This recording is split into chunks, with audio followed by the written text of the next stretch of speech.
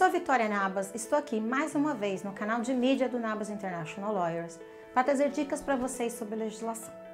O assunto de hoje é casamento com britânico ou pessoa com indefinite leave to remain, que é a residência indefinida aqui no Reino Unido. Como é que funciona?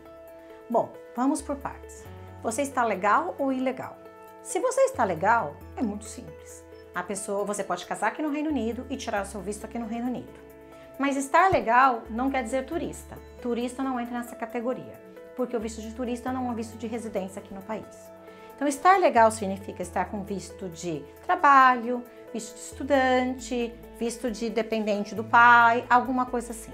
Se você estiver legal no país e o seu noivo ou sua noiva forem cidadãos da Inglaterra ou do Reino Unido, você pode casar aqui no Reino Unido e tirar o visto do Reino Unido. Não é problema nenhum. O problema é ah, quando você não está legal aqui no Reino Unido ou quando está como turista. Vamos separar isso em duas partes. O turista pode casar aqui no Reino Unido, não há problema nenhum, porque apesar de ele não ter um visto de residência, ele está legal no país. Então o casamento é possível ser feito aqui. Porém, o visto não. Para fazer um visto de dependente de marido ou esposa britânico com residência permanente, é obrigado a voltar para o seu país de origem. Se no caso for Brasil, Brasil. Se você tiver um, fala um visto de permanência, por exemplo, em Portugal, você pode tirar até em Portugal, mas tem que voltar. Se você estiver ilegal, sem visto algum, aí não recomendamos casar aqui no Reino Unido.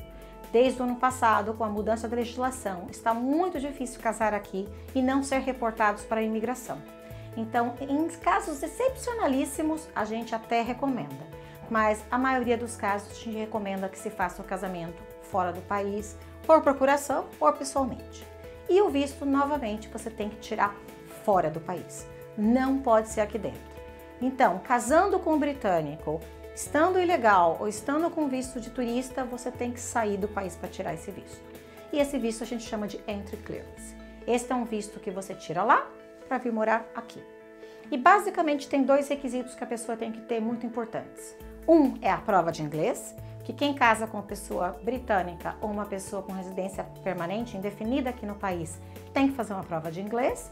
E dois, a pessoa tem que ter um salário X determinado pela legislação.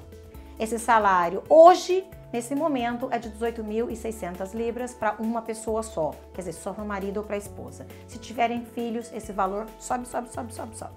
Esse valor pode ser alterado de acordo com a legislação e sempre é bom perguntar para um advogado quanto que está agora o valor exigido pela legislação. Então não se esqueça, o casamento com o britânico ou com uma pessoa com residência permanente requer algumas outras coisas, é um pouco mais complicado e vale a pena você fazer uma consulta com um advogado para esclarecer suas dúvidas antes de pedir o visto e não ter um problema depois. Bom, nos vemos aqui numa próxima ocasião. Até lá!